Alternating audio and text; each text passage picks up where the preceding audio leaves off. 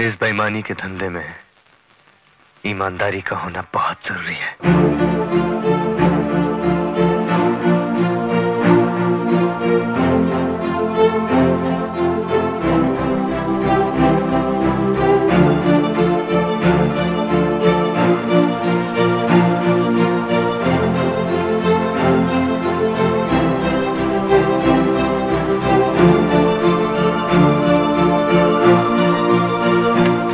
महेश भट्ट साहब फ़िल्म नाम बनाने की योजना में लगे हुए थे। उस वक्त मुकेश भट्ट ने कहा कि इस फ़िल्म की कहानी में कुमार गौरव और संजय दत्त को लेना चाहिए। ये दोनों उस वक्त भट्ट साहब के यहाँ रात रात भर बैठकर शराब पीते और फ़िल्म के बारे में डिस्कशन किया करते थे। इसी दौरान संजय दत्त की फ़िल्म रॉकी हिट नहीं हुई।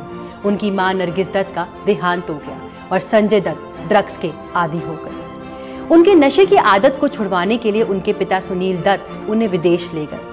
अपने पिता की तकलीफों को देखते हुए संजय दत्त ने कसम खाई कि वो कभी नशा नहीं करेंगे। संजय दत्त जब वापस लौटे तो फ़िल्म नाम का प्रोजेक्ट आगे बढ़ा।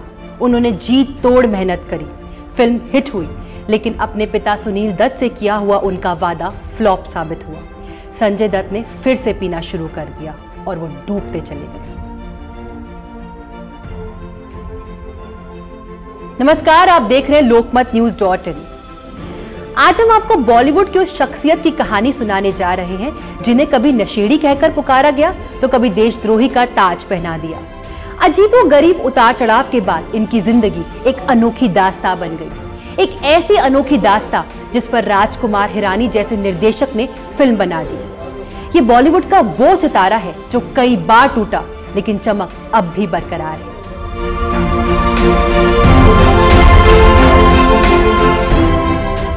संजय दत्त का जन्म 29 जुलाई उन्नीस सौ उनसठ को नरगिस और सुनील दत्त के घर में हुआ था। ये दोनों अपने ही टाइम के बहुत बड़े सुपरस्टार थे। अगर बात करें संजू बाबा के बचपन की तो बचपन में ही उन्हें बोर्डिंग स्कूल में डाल दिया गया था, जो कि सुनील दत्त और नरगिस के लिए बतौर माँ बाप काफ़ी मुश्किल था। उसके बाद नरगिस ने संजू बाबा को एक लेटर लिखा था, और मुझे नहीं लगता कि माँ और बेटे के रिश्ते को दिखाने के लिए उससे बेहतर कोई चीज़ हो सकती है।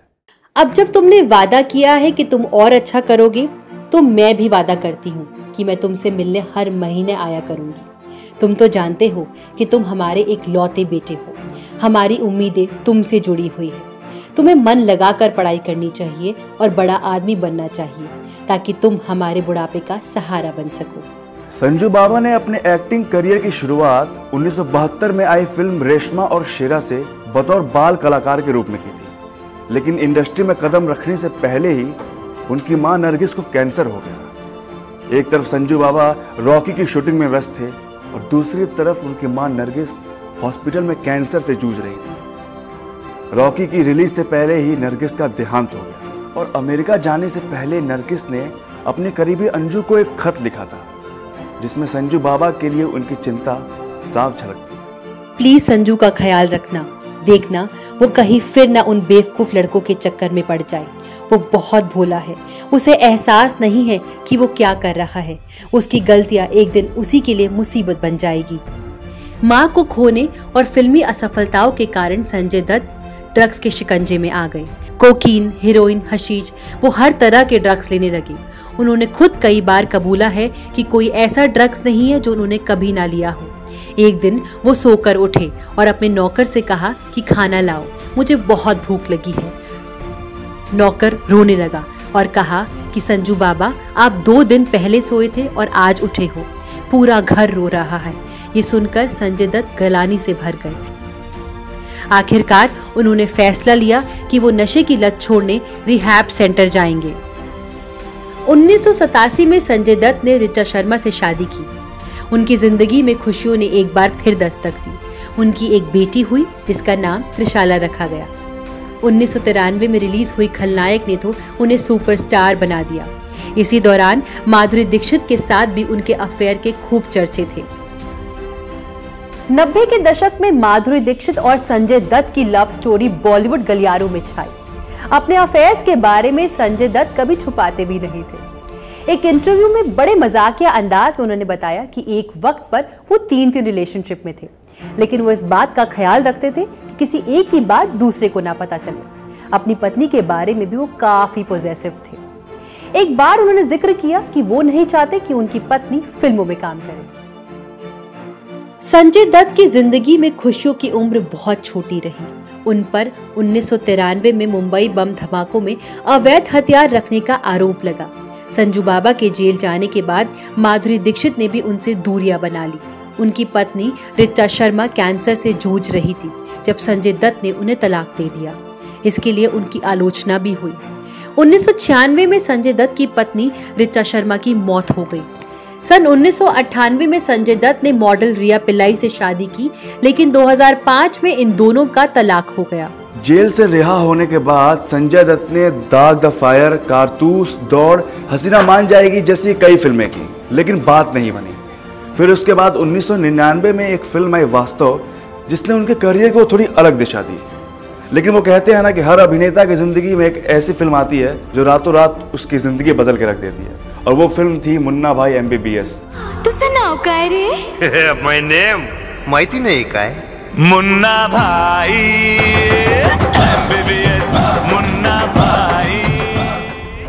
2003 में रिलीज़ हुई इस फ़िल्म में संजय दत्त की ज़िंदगी को पलट कर रख दिया। उनकी खलनायक वाली छवि को हीरो वाली छवि में तब्दील कर कर रख दिया। 2008 में संजय दत्त ने तीसरी शादी की।